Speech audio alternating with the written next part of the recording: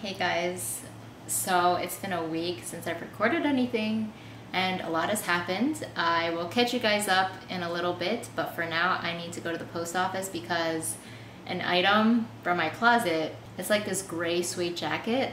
There were a few items on eBay that I've listed and left them up there expecting them never to sell, but anyways, this is one of them sold and I have to ship out the package so I have to go to the post office which um, I'm not pleased about because you guys know me. I want to just print out the label and leave it on my front door and then have the guy pick it up, but I don't have a printer. Now that I don't have the office, I don't have access to a printer, so I gotta go to the post office. Hopefully the line won't be too long. But basically I've been doing a ton of work on my business I bought an ad on Facebook, just a cheap one, just to see what it would be like and see what kind of traffic I could get. And I have been filming videos, trying to put out content, and um, I feel like these past few days, or basically ever since I launched my website, I can't stop thinking of what to do next or how to grow it. And I'm also really excited about my first few clients. I'm also scared to death about my first board and train client. So it just, it's just something that I will have to live and then learn and just tackle it and not letting the fear make me back out of it because I am really, really eager for all of this. And um, thank you to anyone that followed my other channel. I really, really do appreciate that. I've put up two videos so far. One is just my intro video. I did a how to get your dog to sit video and that one was a bit challenging for me to try to film mainly because when I put myself in the shoes of a new owner, I just feel like it would be nice if I was filming a video with a dog that doesn't know the command whatsoever and then they can kind of see how I troubleshoot teaching the dog to do it, but since I only have access to Riley, that makes it more complicated because I'm just lifting up the leash and she's just sitting automatically and it's it looks easy. Um, after that, I did an e-collar prong collar video, mainly because those are essential tools, I feel, for training. And I feel like talking about them early on is important, at least getting the video out there so people know what I'm using. And then as I continue showing them and featuring them in videos, then people will hopefully maybe go to that video and understand how they work and why they're good. Um, my next video that I was thinking of doing is a video talking about why crate training I feel is essential and the etiquette involved in how I expect my dog to behave around the crate, and then basically a little bit of discussion about how to train it. I feel like when it comes to all of this, I am feeling really, really antsy because I kind of just want to go, go, go, go, go. For example, um, my friend Shane, he has a Husky too, and I have featured him in this channel um, before in the past when he was a puppy. I helped him out a little bit with training, and then I also spent like a day or two with him as an adult and saw his potential. So anyways, he was saying that on walks, he isn't entirely behaving super well. And I was thinking, you know what, maybe I can use him for my video for Heel because if he's having trouble, I would love, in my head, I'm thinking, oh, I can record him walking somewhere and then we can see how his dog is acting anytime where he might be doing something inappropriate and then we can show that and then after I would ask him to help film me and then I would work with Aegon with some of the things that he's having trouble with where I think I think he said that he still has very high prey drive, even for something like squirrels. Like he'll see a squirrel and then he might just try to chase it, which is not good at all and there might be times where I guess he is speeding up on walks and that just sounds like a typical thing. So um, I don't think he's available until Friday and today is Wednesday. So I guess I have two days but I just was thinking oh I want to film this right now or like right away. But of course can't rush things and It's also probably not a good idea for me to churn out content on a daily basis, especially for videos like this where it should take effort and time and if I put them out too fast then people might think I am putting less effort into them. So I gotta really space them out and chill and take some time to continue doing my other things. Um, I'm in a phase right now where Dota is not enjoyable again because I had a few days where it was just unenjoyable games and I don't mind being in this phase because it allows me to feel confident when I'm like, you know what, I don't want to game. Let's just do something else. So I can watch movies, which is something I have really, really slacked off on, or I can film stuff for my business, or I can come up with ideas for my business, or even just spend time with Jose. I ended up talking about my business now, but I'm gonna head to the post office. All right, I am back a couple hours later. Post office was fine. I guess it didn't really take that long. I do have a P.O. box I have to cancel, but I have to actually find my key. I'm pretty sure it's just in my drawer, but I never used it. I only used it once because I needed someone to ship to me a Nintendo Switch and I didn't want to give my real address. So, um, yeah, I need to cancel that. Otherwise, they're going to charge me for 30 bu- Otherwise, they're going to charge me for 30 bucks every three months and that's just i don't need that shit. I don't want extra expenses for nothing. Make sure i cancel it. I did a bit more work. Um, working on a laptop fucking sucks. I hate this laptop so much. Gets so hot and overheated in my lap and i don't really have a good surface to work on. Uh, i have also been thinking about more stuff. So i actually ordered some custom t-shirts for my business and my idea was anytime I'm walking around in public, I would wear it. But the thing is, I decided to use just like a random Husky logo that I found online and its license is for personal use. But I'm thinking these t-shirts were kind of expensive.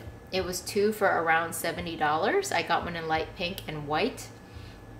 So I just decided that you know what, I'm gonna cancel that order. I'm gonna pay for a logo and then I will print that on my t-shirt because yeah, uh, I don't want to spend 70 bucks on a t-shirt that I end up not being able to really use because it's not going to be one where a logo I can actually proudly display for my business. So um, it seems like logo design can be pretty expensive though, maybe starting price at $300. So I have to really uh, figure out all these early expenses that I'm taking on. Uh, there have been a decent amount so far.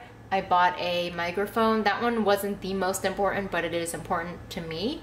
I like good audio quality, and uh, that was something that I always wanted for my vlogs as well. But to be honest, it is a lot of work to sync the audio and attach it to myself and talk into it instead of just whipping out the camera for you guys.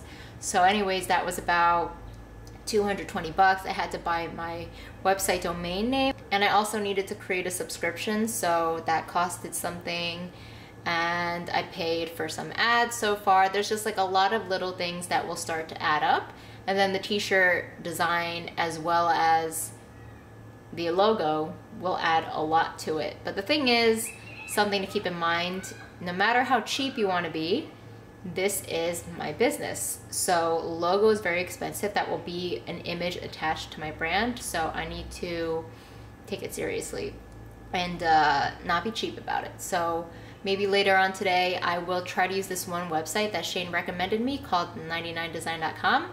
And I'll start a little contest for people to submit their artwork for me. Um, I was thinking that since my whole name is a little long, Michelle's Canine Training, I would try to maybe put the canine text in a husky face logo. And of course, when doing that, I would try to ask them to not have it look too. If they can fit it in seamlessly, then I would love it. Otherwise, I could totally get rid of that idea. But the thing is, I guess I could also do like MK9 training and just abbreviate my name. But it really just depends if someone is able to do Michelle's canine training with a logo and having it look really well put together and not too cluttered and everything, then that'll be fine. But I am not really the greatest when it comes to design. So one logo that I have been referencing is Alphalete.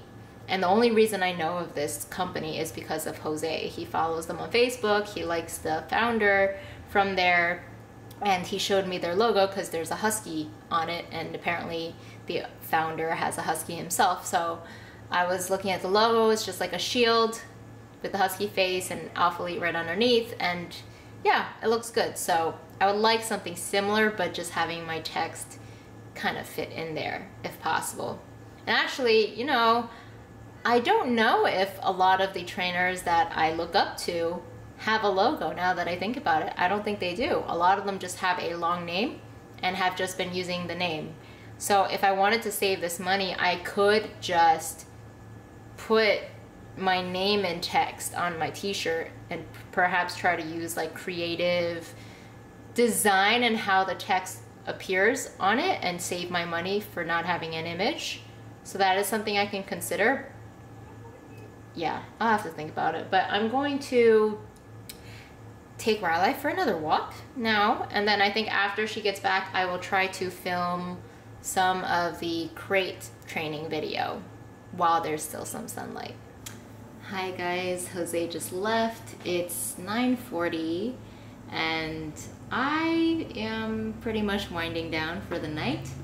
Um, I started the contest on 99designs.com for my logo and so far there has been only one submission. It's only been a couple hours so I'm not too concerned. I also didn't make it a guarantee that I would choose a design because I just really don't like the idea of me paying for something I don't love. So hopefully I get one that I actually really like. But my first one kind of annoyed me because I used two pictures as a reference as to an idea for what I liked my Husky logo to look like. I wanted it to look more realistic and not cartoony. But basically one person just took one of the pictures that I linked and just mashed it in there with the text and that's it. And that just feels so idiotic to me because the whole point of buying a design is an original idea. You don't just take the picture that I used as reference and just try to sell that for whatever this is being like $299.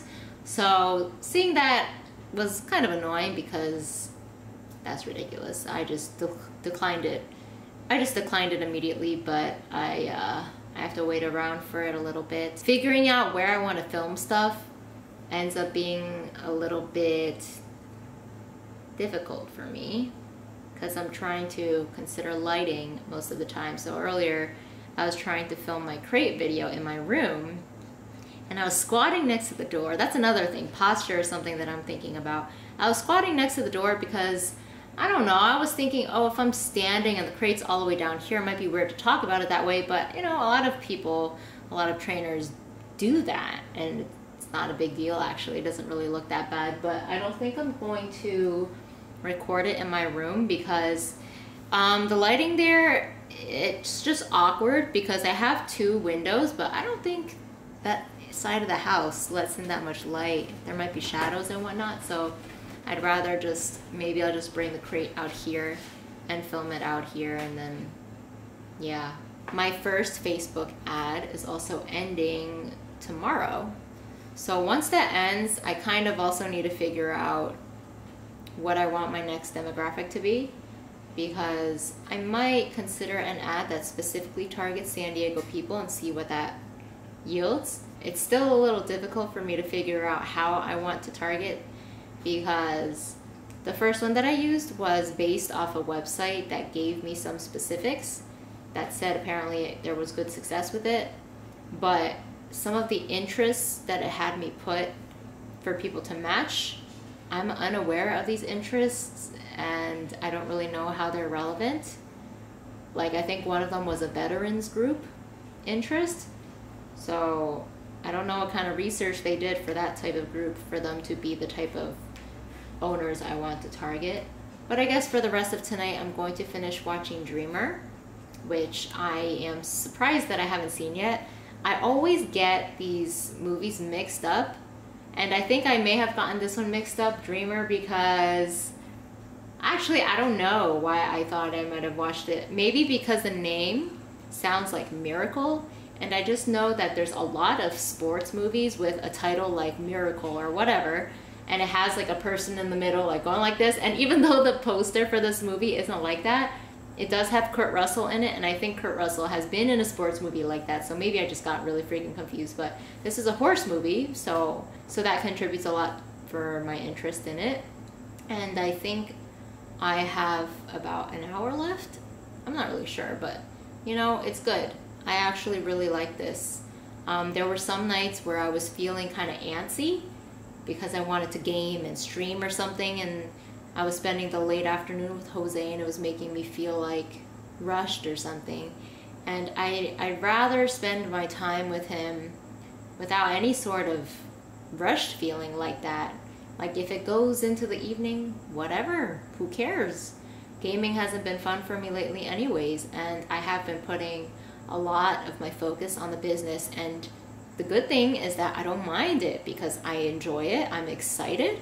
I am really excited. Actually, another thing I want to do tonight is I want to try to find a good company to customize some of the merchandise I want to get for clothing because there's a lot of results I can find, but I just it's it's gonna be hard because I want good quality items. I want something form fitting. I want it to look nice on me, my body type. I don't want it to be boxy. I want it to be uh, soft, good material, stuff like that. So I'm gonna try to do a bit more research and figure out what company I want to use once my logo is done and ready. All right, hey guys, uh, it is Friday. Happy Friday to everybody. I just wanted to talk a little bit right now because, well, I feel like I can't stop thinking about my business. So I am still waiting for more designs from people in terms of my logo. Um, so far, there is two main ones that I like, and I'm going to display them here. The first one is really creative in the use of negative space because this was kind of what I was thinking about if they were able to fit a dog within like K9 of my uh, business name, then that would be really cool. And they were able to do that. The main issue that I have with it is just that it's not a husky. And I think, I think off the bat, people might think that may be a very minor thing to complain about. But I also do think that over these few years, Riley has become a major part of my identity just because her pictures are everywhere and I just, she's really incorporated with me and my online presence, I think. So if I wanted to create a logo for my business, I feel like a husky needs to be part of the design.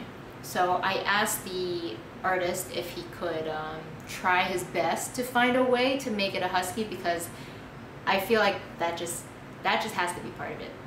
Anyways, the second one actually looks really good. Out of all of the ones that I've received so far, it is my favorite. And the good thing about it is that a lot of people that I have been consulting with, friends that own businesses, they do say that it's really straightforward, it looks great, um, it's, it has good glance value.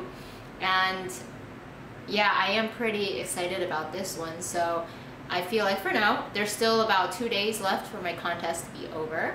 I also don't have to pick a design if I don't want to, but it would be nice to do that. That way I could start um, getting some merchandise just for myself to wear.